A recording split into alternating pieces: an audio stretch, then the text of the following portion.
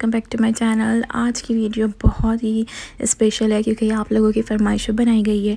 अच्छा जब से मैंने इस चीज़ का एक टीज़र अपने इंस्टाग्राम पे अपलोड किया था तो आप सबके मेरे पास कमेंट्स थे कि ये क्या चीज़ है, कैसे यूज़ करते हैं कहाँ से मिलेगी, इसकी एक वीडियो रिव्यू बना दें और इसके, इसका यूज़ शेयर कर दें। तो ये एक क्लिनजिंग ब्रश है फेशियल क्लिनजिंग ब्रश अब मैं इसको यूज़ करके दिखा रही हूँ, जैसे कि मेरे पास एक क्लिनज़र है। मैंने इसको डायरेक्ट ब्रश पर डाल दिया है।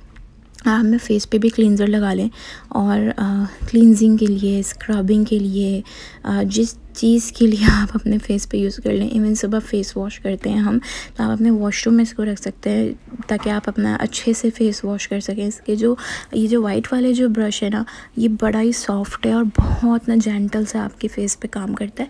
और जो पीछे है ना, वो एज अ स्क्रबर यूज़ होगा। अगर आपको स्क्रबिंग अपने फेस पे करनी है तो आप पीछे वाले ब्रशेज़ को, जो पिंक वाले ब्रशेज़ हैं, उसको यूज़ करें। वो बहुत अच्छी क्लिनजिंग करते हैं। और ये मैं अपने हाथ पर आपको यूज़ करके बता रही हूँ कि ये एज अ क्लिनजिंग पर्पज़ मैं यूज़ करती हूँ। अच्छा ये मैंने मंगाया था दराज से। मैं आपको उसका लिंक ज़रूर शेयर करूँगी। दराज का कि कहाँ से मंगाया था, कितने का मंगाया था, आप डिस्क्रिप्शन भी देखिएगा। और एक और चीज़ कि ये मैं एज अ मेकअप रिमूवर भी यूज़ कर लेती हूँ। जैसे फ़र्ज़ करें, अभी मैं आपको अपने हाथ पे लगा के दिखा रही हूँ।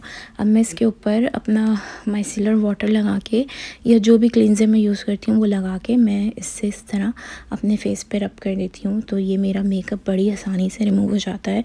और इसके गंदे होने का भी मसला नहीं है कि अगर इसके ब्रशेज़ गंदे हो गए, आपको लग रहा है भाई कलर लग गया मेकअप लग गया आप कैसे साफ़ करूँ? तो ये बड़ी आसानी से इस पर आप अपना सोप लगाएँ।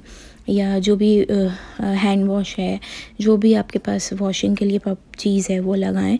मैंने इस पर अपना हैंड वॉश डाला, जिससे अच्छे से इसको मैं क्लीन करूँगी और ये देखें मैंने इसको अपने हाथ की मदद से इसको अच्छे से इसके ब्रशेस को क्लीन किया और अब मैं इसको क्लीन करके टिश्यू पेपर से सुखा के इसको वापस रख दूँगी।